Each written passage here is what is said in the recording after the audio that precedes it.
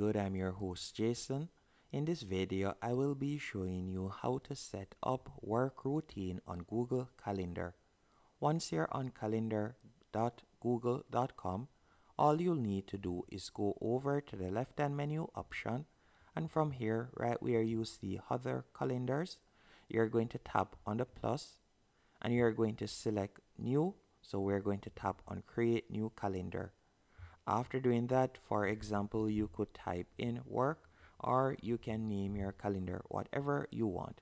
And then you're going to tap on create calendar.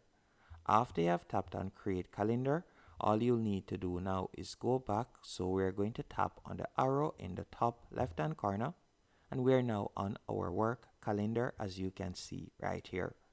Now to add tasks all you'll need to do is simply select the date that you would like to add a task so let's say for example Thursday the 2nd and from there you can see the time right here on the left hand menu option. So you can see the time.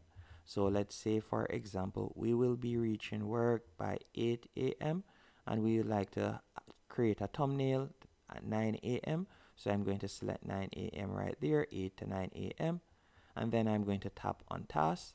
And from there I'll type in create thumbnail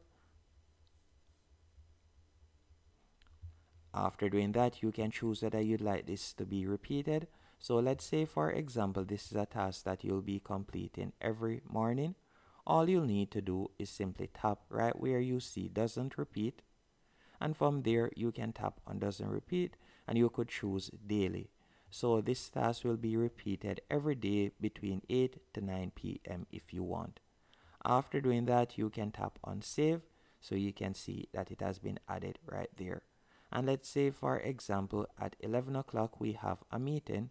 So we're going to tap on 10.30 to 11.30 right there. You could change the time if you want. So for example, I could tap right where you see 10.30 and I could change it to 11 and you could change right where you see 12 p.m.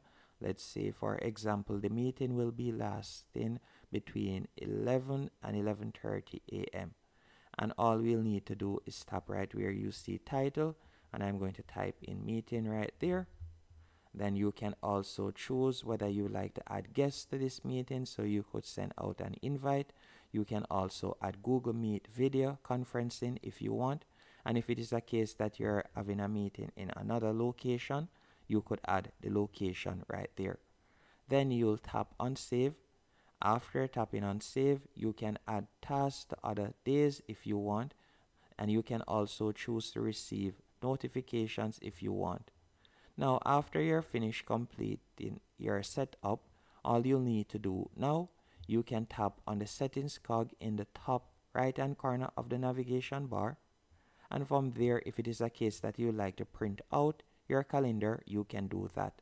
So you could tap on print right here and after tapping on print you can see how it looks. So you could choose to print out your calendar if you want